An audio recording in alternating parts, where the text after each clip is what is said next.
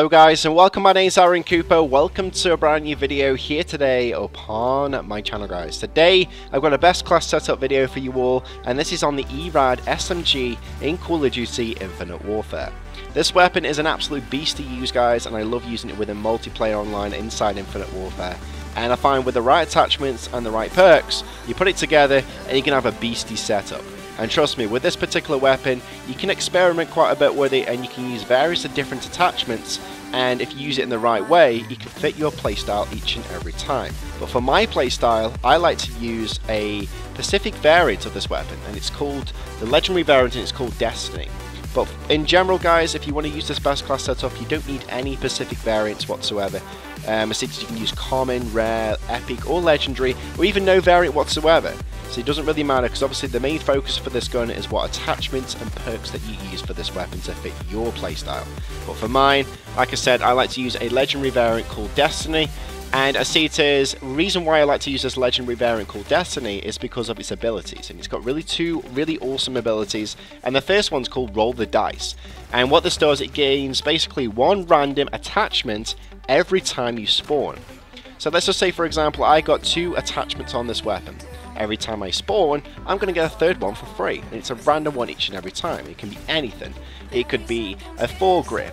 It could be a particle amp. It could be anything, guys. So it always gives you like a little bit of an extra edge with you gain a random attachment. And the second ability is Readiness. And Readiness. And what this does, basically reloads you faster when the mag is low as long as it stacks with dexterity. And I find with this particular sort of ability, guys, that when you're low on ammo, your gun's going to reload even quicker than normal. So it's going to help you a lot. And especially when it comes to gunfights, because you could be low on ammo, you run into cover, your gun's going to be completely going to be reloaded instantly, enough, and then you can run back out of cover and boom, take down your enemies, and to be like, whoa, that was quick. You know what I mean? You can give them a hard time online if you can reload quickly with your gun, especially if you're keeping your shots on target. Anyways now, let's jump into the form of attachments and stuff that I like to use upon this weapon. And first of all, I don't like to use any optics for this weapon. I find that the iron sights on this weapon are pretty good, so IC says I don't use any optics. It's up to you guys if whether or not you're going to equip an optic or not. But for me, I prefer to just use the iron sights. But I do recommend, if you are going to use the sight on this gun, I do recommend either using a Trojan sight, a reflex, or an ELO. But that's just my personal opinion, okay?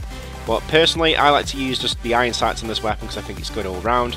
But I'll give you a little bit of a brief about this gun so you know what this weapon's all about in case you've never used it before.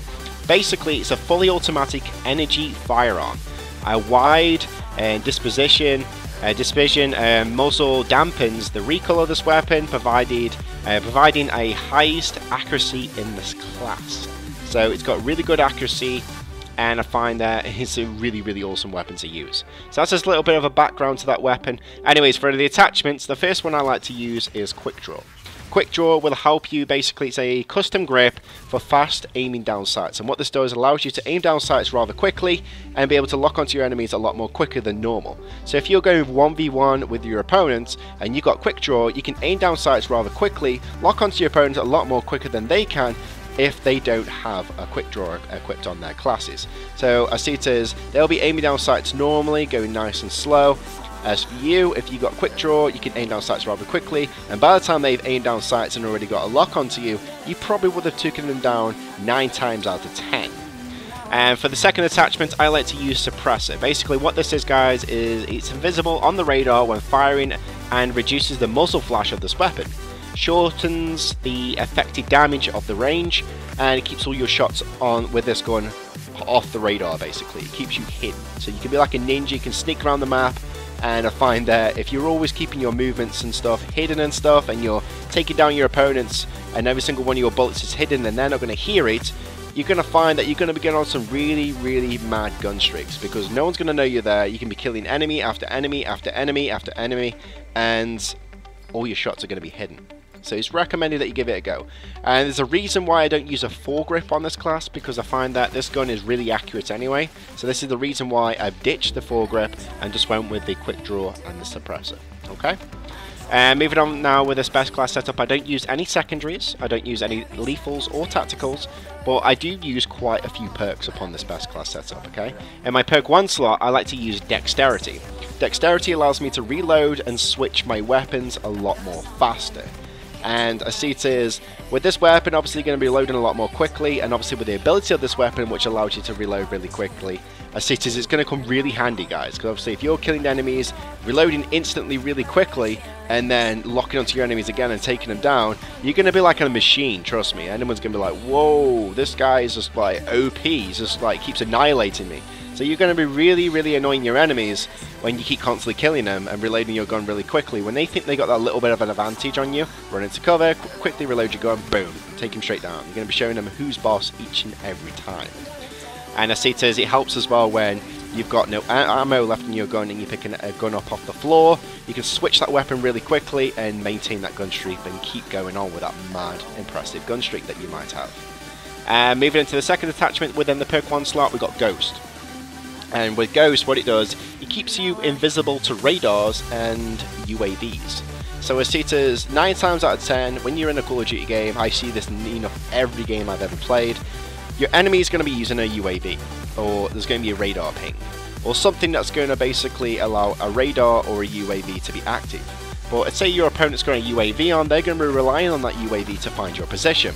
But if you're invisible to their UAV, they're not going to be finding you. So they'll probably find your team members, but probably won't be finding you. So you can use this to your advantage to stay hidden and take down your opponents. And trust me, it helps quite a lot guys, especially with this gun and with this best class setup. Your enemies are not going to know where you are, trust me. You're going to be well hidden, trust me. Uh, moving on to the perk 2 slots now guys, there's two particular perks I like to use in this in this part of the best class setup. And the first uh, like perk I like to use is Scavenger. Scavenger, basically what this does, he basically resupplies the ammo from dead bodies.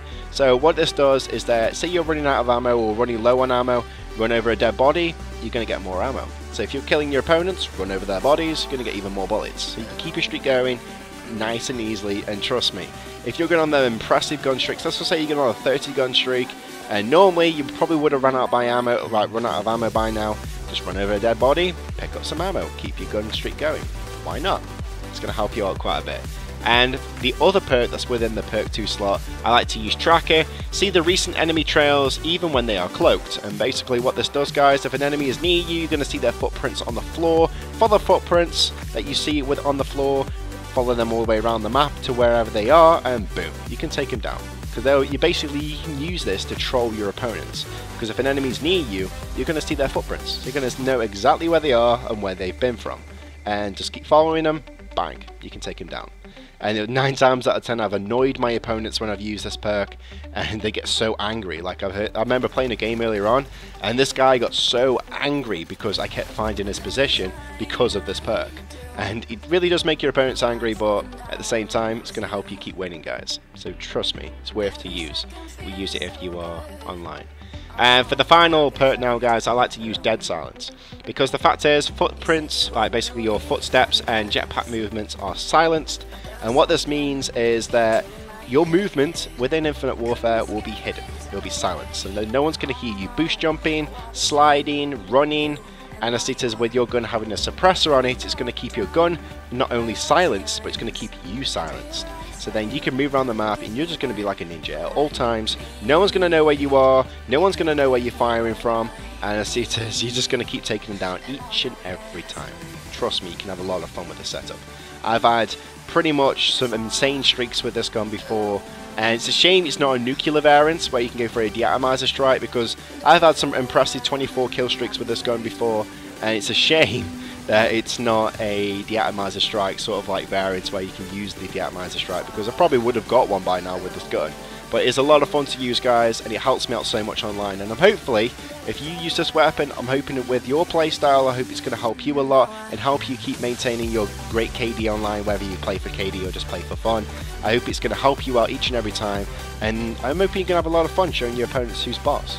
Anyways, have a marvellous day. If you enjoyed the video, then give it a thumbs up and subscribe.